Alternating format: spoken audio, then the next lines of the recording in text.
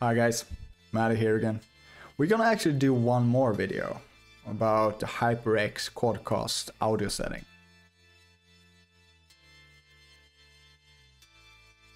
You guys liked the first one and I thought why don't do a second one? This is more my personal touch, what I kind of like and I feel why don't share it with you guys? Maybe you like it also. But before we go to the video, if you like the video, thumbs up.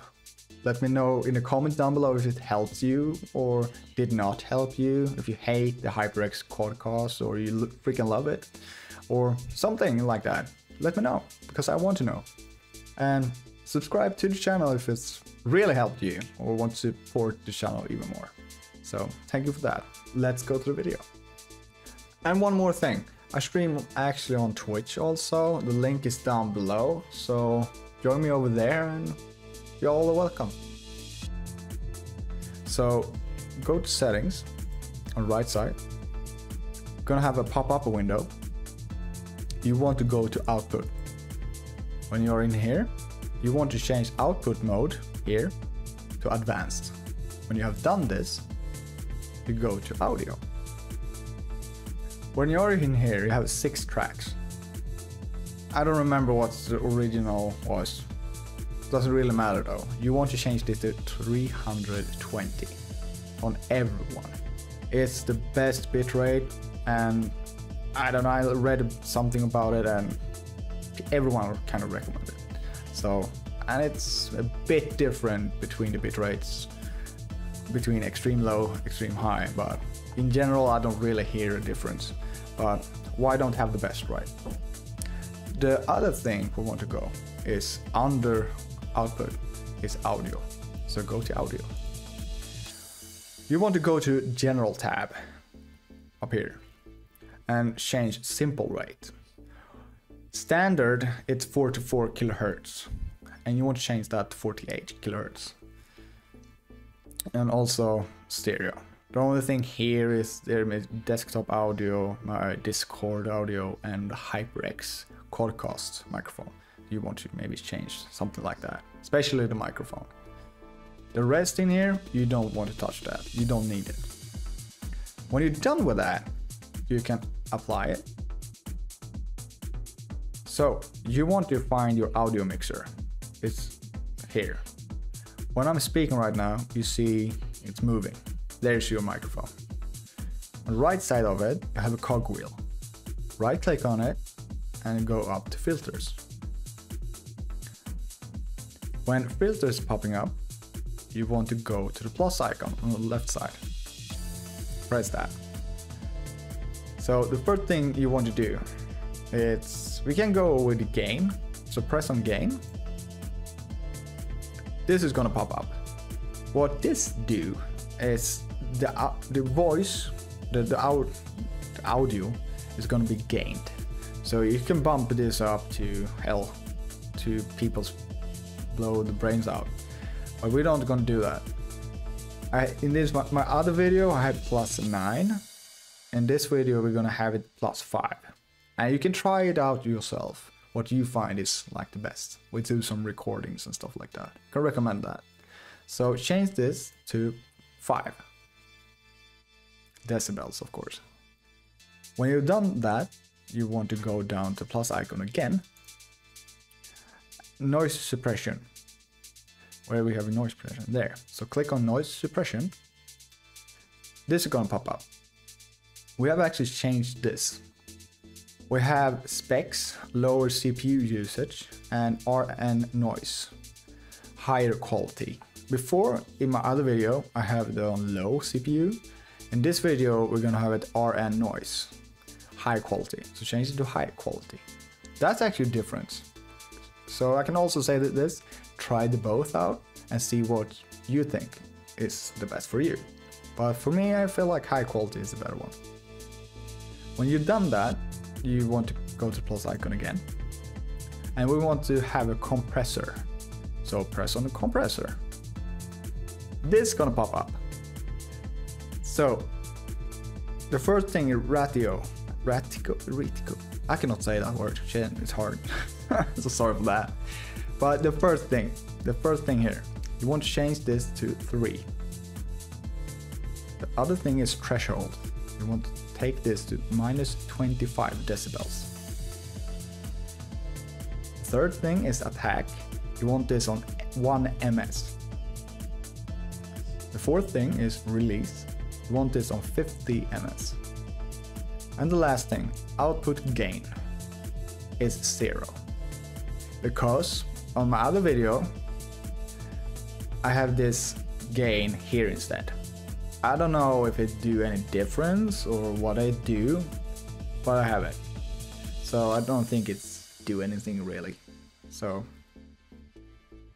try it out if you see a, hear a difference. I don't do that, so take it on zero. When you've done that, you want the last thing, and we're going to talk about it. It's a noise gate. So click on noise gate. This is gonna pop up. And I'm kind of split here. Actually, I'm kind of split here. Because I have my close threshold on minus 35 decibels. An open threshold, minus 30. Attack time 25 ms, hold time 200 ms, release time 150 ms. I don't think I've changed this actually, but we're to talk about it. What what do they do? What the noise gate do, it's opening and closing. So it's like opening a, a jar and closing it again, kinda. Maybe bad example though. But what it do is it's need certain decibel to open the microphone. So like I do right now, if it's low enough, the microphone doesn't gonna pick it up. Of course we can tweak this back and forward how you want it because everyone has a different room and example my room is kind of go echoes because I don't have so much paintings and stuff like that. So it's gonna echo though. That's the negative part with it. But if you have like loud sisters, brothers, a dog maybe, parents, cars, like you want to tweak this to your liking. And of course it depends on what you want the microphone. You want it close, like we do now, or maybe far away.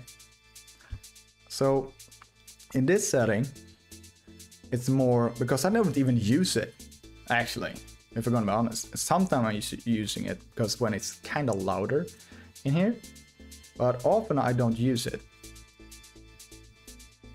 And that's because I feel when I do my recordings, it's quite uh, it's just me and my girlfriend living here. So we have kind of quiet apartment and that's kind of nice. So I don't really need it. I feel like. And uh, of course, why I don't need it is one thing more. I kind of like my microphone away from me. I don't. I want to see the keyboard. I don't want to have it in the way, and so on. But it's personal. It's it's hard to say exactly what is the best thing because the the volume of stuff around you. This it's like depends on where you live, mainly. So tweak it around. So one thing you can do to be really safe is maybe take my other video, I'll link it here again, and watch that, see what you kind of like, compare those. So that's what I'm kind of say about it. But change it to minus 35, close threshold, open threshold, minus 30. And see what the difference are. Maybe it's really work with you so you can have the noise gate. But my personal view on it, I don't really use it. Only sometimes. So that was my new setting. Maybe not new, I changed some stuff in there. And if you guys want to try it, here you go. Uh, one thing I want, maybe if you are curious about some stuff of the HyperX, I'm gonna explain because I have actually some people asking this. On the HyperX, we have a knob down here, like here, down here. You can, it's a gain, okay? I have my gain on first dot. Of course, depends on your environment and what you like, but I'm personal have it one dot. The second thing is I have on the back side, you guys are not gonna see this, you have also a knob with four settings. I have mine like a circle with a dent in it. So it's like a heart. looks like kind of heart, a round heart. This that one is because why I use that is first the best thing. And only the front of the microphone when I'm speaking gonna pick up the sound. On the back here is not gonna pick up sound. So if I do the keyboard and some stuff like that, the microphone is gonna pick it up. So that is like the best thing ever to change on the microphone if you want to change something. The rest is you don't really need it, uh, really. The problem with the microphone in general is maybe it's picking up some sounds and sometimes it can be some weird with the sound, but for the price it's really good. And it's cool also, it's red. Thank you for the support guys, appreciate it on my first video there on the setting, really thankful. And I hope it helps. If didn't this video didn't help you, watch the other one because that helps some people actually, so that's great. So let's see on you guys. I cannot speak at all, so let's see you guys in the next video. And don't forget like, comment, and subscribe if you want to do that. Thank you. Bye.